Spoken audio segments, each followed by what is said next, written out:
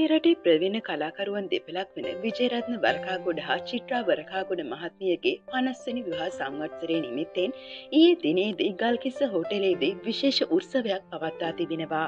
ඉතින් මෙම අවස්ථාවට අපේ රටේ කලාකරුවන් රැසක් සහභාගී වූ අතර විජයරත්න වරකාගොඩ මහතා සහ චිත්‍රා වරකාකුඩ මහත්මිය නැවතවරක් පෝරුවෙන ගලා ජයමංගල ගීතගයලා මෙම උත්සවය පවත්තා තිබෙනවා. ඉතින් මෙම ආදරණය යුවලට නිරෝගී සුවය දීර්ඝාශ වගේම හැමදාමත් මේ විදේටම සතුටින් ඉන්න ලැබේවා කියලා අපි ප්‍රාර්ථනා කරමු.